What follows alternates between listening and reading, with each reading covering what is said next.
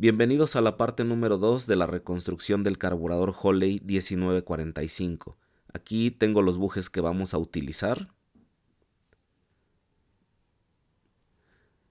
Y bueno, aquí simplemente vamos a colocar, pero hay que limpiar esta suciedad que está aquí. El procedimiento es muy sencillo, solo tomo el buje, lo apunto y van a ver la herramienta que voy a usar ahorita.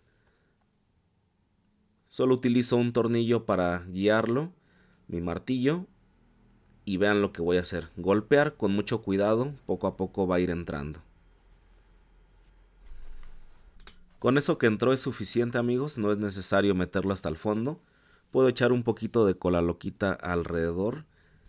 Eh, cuando está un poquito flojo el buje o siente uno que hay posibilidades de que se salga, puede uno aplicar un pegamento como este. Así alrededor solamente. Tengan cuidado de que no se les vaya para adentro porque el buje se va a cerrar y bueno, después ya no va a entrar la flecha, hay riesgo de que se quede trabado también, entonces pueden tener problemas. Bueno amigos, pues aquí vamos a extraer el buje del otro lado. Aquí estoy metiendo un machuelo como puedes darte cuenta. No recuerdo ahorita la medida, creo que es de 9. Eh, simplemente es un machuelo que agarren los bujes Aquí lo que estoy haciendo yo es una especie de cuerda, pero le metieron un buje de fierro de este lado, está durísimo, durísimo, le está costando mucho al machuelo cortar. Eh, no es porque le falte grasa, sino el material está muy duro. Me está costando mucho esfuerzo. Eh, vean ahí cómo, cómo se traba o tarda en cortar. Es un material muy duro. Para algunos es beneficioso porque dicen, bueno, le metes un buje duro y no se acaba nunca, ¿no? No, estarías cambiando bujes. Pero el problema ahí es que esta flecha se acaba, se desgasta. Y estas pues no las hay de reemplazo nuevas. Entonces, ¿qué prefieres? ¿Cambiarle los bujes más seguido o meterte en un problema porque se acabó la flecha? Aquí lo que voy a hacer es ahora meter el tornillo para sacar el buje. Tus aguas frescas. No esperes más. Aquí están las aguas frescas más Ahí está. Ahí va saliendo. Bueno, en ocasiones hay que seguir pegándole o en ocasiones sale como ahorita, que ya casi se salen solos. Ahí está el buje. Eh, para mí es un buje feo, no es un buje bueno. Bueno quizás en duración, malo porque pues nos perjudica otras cosas. Aquí bueno, si quedan residuos, eh, simplemente se sopletea o se limpia. Ahora, hay algo aquí que no me está gustando. Pareciera que esto está muy abocardado. Vamos a ver si mi teoría es cierta. Vamos a ponerle el buje de Chevrolet. Mira nada más. Ay, ay, ay. Estamos metidos en un problema. Esto está demasiado, demasiado flojo. Metieron una broca muy grande o una rima eh, muy grande y provoca que ahora estos bujes, eh, que son los más delgados, con los que se tiene que abrir menos el material, pues quede así de guango. En este caso, si hay desgaste en la flecha, aunque pongamos un buje nuevo, pues va a seguir ese desgaste y la idea es que se compense con esto. El buje, miren, así tiene que quedar un poquito salido y con eso ya lo hacemos, ¿ok? Entonces, bueno, voy a traer un buje de bocho. De hecho, por aquí los tengo. Así son las bolsitas que, que nos vende el proveedor que tenemos.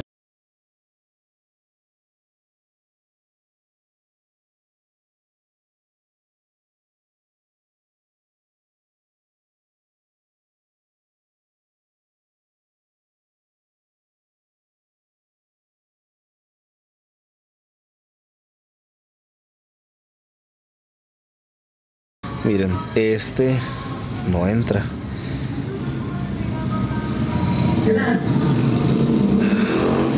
De hecho, apenas si agarra tantito. O sea que pareciera que no es ni el de bocho. O sea que ahora todavía tengo que abocardar un poco más.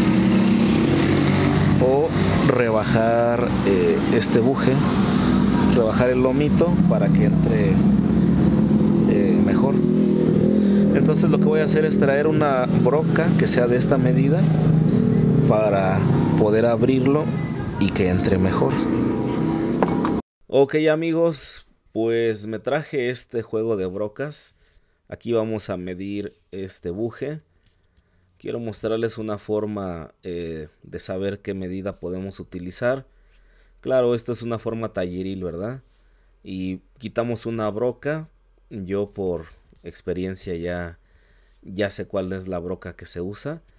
Eh, es de medida 2564. Esa es la medida más aproximada al buje que fabrican eh, para bocho. Incluso ahí les voy a mostrar, miren. Esa entra ahí. Por lo tanto, esa es la broca que vamos a utilizar. Y bueno, vamos a ver el procedimiento. Deja tu poderoso like, suscríbete si no lo has hecho. Esta 2564 debería de entrar aquí perfectamente. Y si entra, como que se atora un poquito, entonces o ya está ahí y hay que meterlo a golpes o si tiene un poco de suciedad esto. Vamos a darle así incluso con la pura mano. A veces la suciedad que está aquí puede ser porque el cola loca obviamente se queda ahí pegado. Si en algún momento entró un poquito de tierra, pues también hace ahí una especie de, de masilla, por lo que no entra el buje. Y también en ocasiones el corte que hizo la broca o la rima no fue tan preciso, dejó residuos y ahora que queremos meter un buje nuevo, pues bueno, lo que sucede es que se atora. Así es que lo que estoy haciendo yo aquí es un trabajo manual, un trabajo de artesano, donde dedicamos mucho tiempo, mucha mano de obra en estar haciendo esto con la mayor precisión posible. Aquí, bueno, ya le estoy dando unos golpes, date cuenta cómo le está costando al buje entrar más que cuando metimos el buje de Chevrolet del lado contrario. Así de ajustaditos, así de apretaditos deben entrar eh, para que no tengamos problemas. Ahí podemos meterlo un poquito más, quedó muy salido. Si les dije debe de quedar salido, pero tampoco tanto, no hay que exagerar. En los Hitachis de Nissan Datsun sí lo dejo más salido, pero en este no. Con eso es suficiente. Eh, ¿Qué piensas de estos trabajos? ¿Crees que son remunerados o no? ¿Crees que son bien pagados o no? ¿Qué opinas? Deja tu opinión.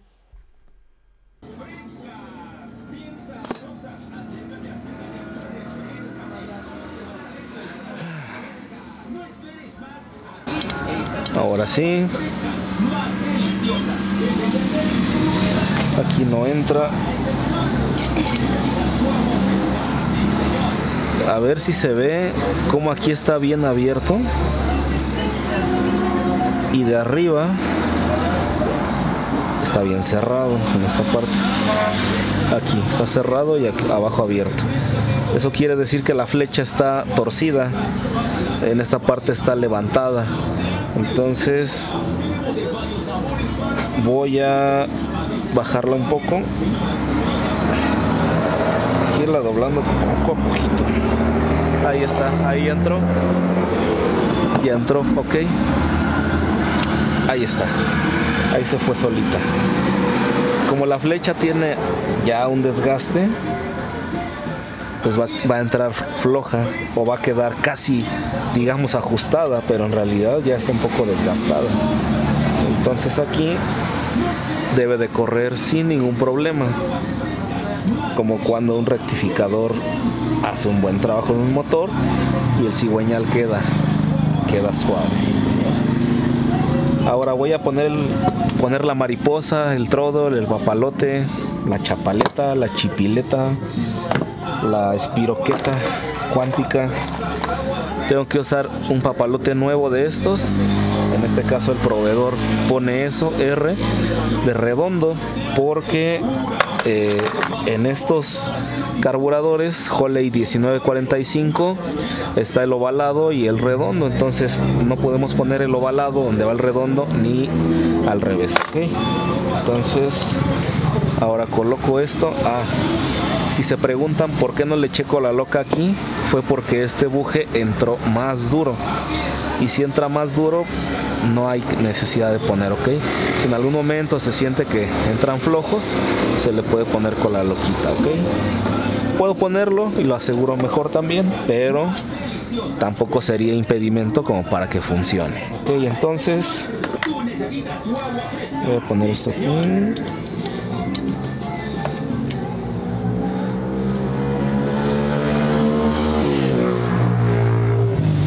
Y si se dan cuenta, se ven ahí los hoyos, pero ni siquiera coincide con los agujeros de la flecha.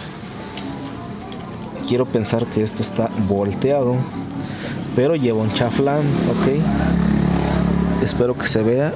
Hace mucho tiempo en Facebook se los mostré. De este lado está más rebajado o tiene un rebaje aquí y de este lado está más alto. Quiere decir que este corte, ahí está. Este corte está así, ok así está. Entonces esta parte alta no debe de quedar así. Al contrario, es así, ¿ok? Para que este chaflán ahora está así. Este chaflán cierre de forma perfecta aquí en la garganta, ¿ok? Así es que vuelvo a hacer el mismo procedimiento.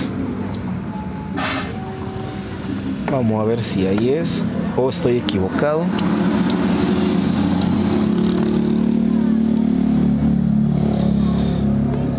Bueno, en el caso del chaflán sí está bien, pero mm, no veo que coincida este. ¿O será que lleva el ovalado? Pero según yo viendo esto, lleva el redondo. Esto yo no lo veo ovalado. O traía uno equivocado. O lo sigo poniendo mal. Estos son los problemas a los que ustedes pueden enfrentarse. A la mera hora, oye, ya no me coinciden, no encuentro los hoyos. Sí, porque se está metiendo en otra posición. Miren, por ejemplo, cómo está ahí. ¿Se dieron cuenta? Ahí está. Ahí. Se puede decir que aquí está perfecto el sellado, pero no coinciden los hoyos. Y aquí ya quedó abierto. Ahí se ven mis dedos. Entonces, ¿qué pasa? Voy a poner el papalote que traía, este, para ver si este sí coincide. Y tal vez este coincida la primera.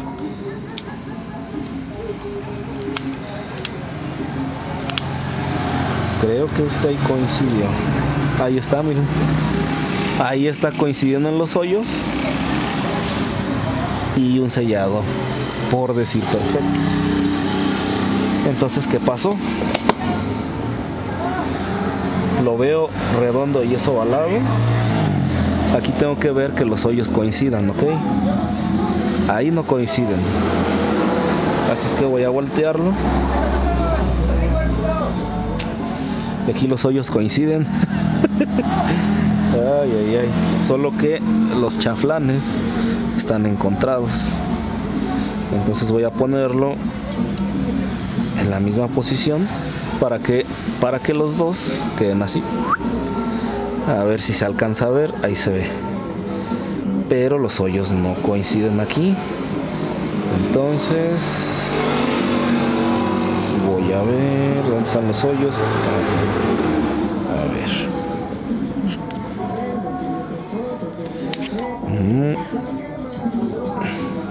ahí está ahora sí me cuesta porque pues estoy tratando de que todo se vea. Ahí está. Los dos chaflanes están ahí. Yo pues ya sin grabar y estando concentrado en esto, sin estarle explicando a nadie, pues esto lo hago fácil. Se me puede complicar porque pues tengo que enseñarles. Entonces, si es este, vamos a volver a ver si nos queda o no. Primer intento, no coinciden los hoyos. Y ah, ya se atoró.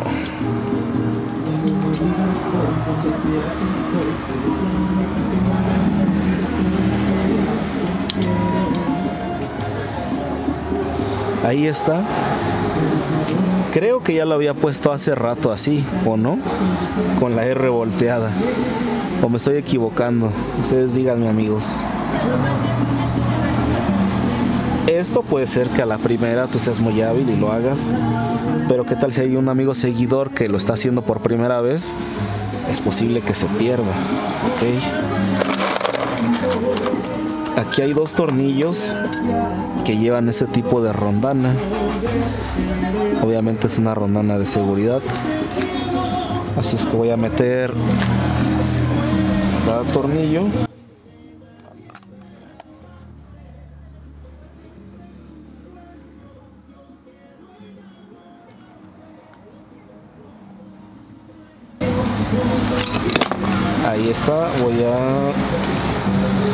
Tantito porque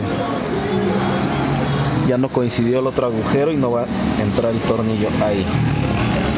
Ya le puedo apretar otra vez un poquito. Coloco su otro tornillo.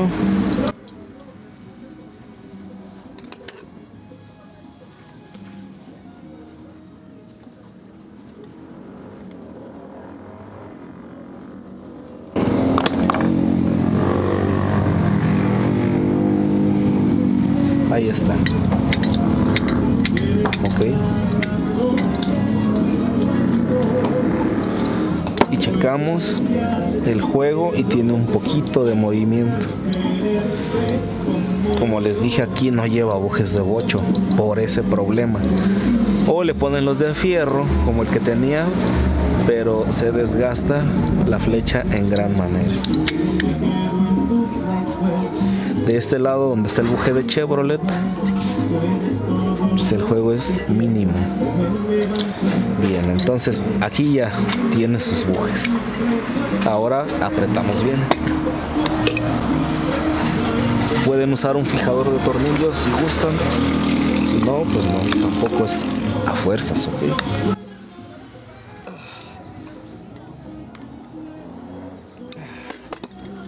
listo. Y así debe de correr, debe de quedar suave. Si esto estuviera así y nada más se mueve aquí, obviamente estaría atorado, ¿ok? Tiene que tener un movimiento completo.